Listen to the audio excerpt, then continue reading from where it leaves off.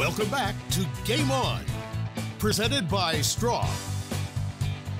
And welcome back. A big one today. Hawaii taking on UCLA. Well, last year our Game On correspondent Lia Kamana told us about the international diversity of UH athletics. Today, Leah tells us a story about an athlete from Hawaii that decided to play at the University of Hawaii, and she's very happy she decided to do that. When local track and field talent Raion Black first stepped foot on UH's campus in 2013, she had big plans. She still does, but her journey is far from what she had imagined. One of the things that my dad used to teach me when I was younger, you know, is like, what do you believe? You know, like, what are your morals? He used to always ask me, you know, like, if this came up, what would you do?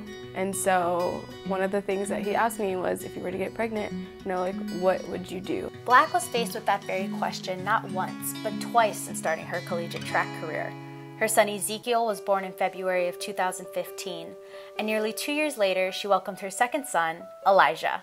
My mom watches them all day, and my when my dad's home, he watches them too. And it's like we take care of this, and you focus on that, and then when you come home, you can have them back. When I was pregnant with Ezekiel, I was still in school. My belly was the team's belly, so it was like you know, rub it for good luck, you know, keep going. I have like support, you know, like no matter like what part of my life I'm in. She took time off from track during her first pregnancy. With her second, she felt it was best to put everything on hold. But now she is back and feeling stronger than ever. With my firstborn, I had a C-section.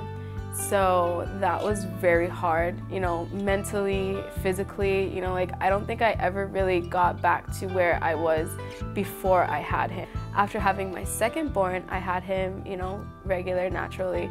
And um, I'm actually 10 times stronger now than I was when I first started off running track. You know, like I lift heavier, you know, like still getting in shape, but I feel 10 times faster than I was. This spring will be Black's junior season with the Rainbow Wahine, where she competes in the 100 and 200 meters, long jump, and 4x100 meter relay.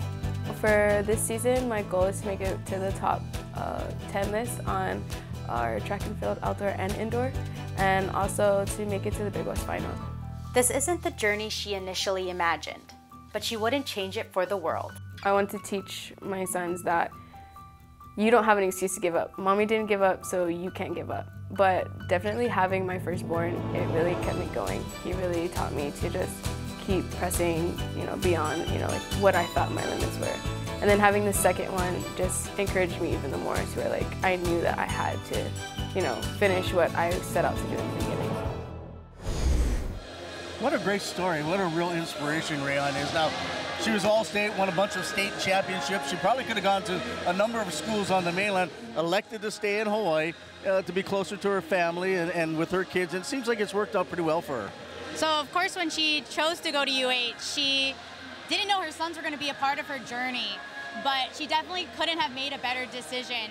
She has an amazing support system in all parts of her life her family, her friends, her teammates, they're all there to help her accomplish her goals and make sure she accomplishes everything that she set out to do in the beginning. So it's been great. Yeah, that's awesome. Now the track and field team uh, finished up a meet in Seattle recently. How'd she do? Um, this was their second meet of the season, and she she felt she did really good. She's feeling really strong. Um, she had a really strong showing in the 60 meters in their opening meet two weeks ago. Um, she knew she needed to improve on the 200, and she did just that this weekend. She shaved about a half second off her wow. time. So she's feeling really good. The indoor season's really short, so they only have one more competition weekend. Um, February 9th, 10th, 11th, the team's back in Seattle where they have two separate meets. And then they go into indoor championships and then outdoor season. So, you know, she's really looking forward to see how she progresses and the team progresses throughout the rest of the season. Indoor track, outdoor track, parenthood, school. She's got a full plate. Great story. We'll keep an eye on Raion for sure. Thank you, Lia. Thank you. All righty, we'll take a break. We'll come back and we'll start focusing on the rematch. Number three, Hawaii. Number two, UCLA.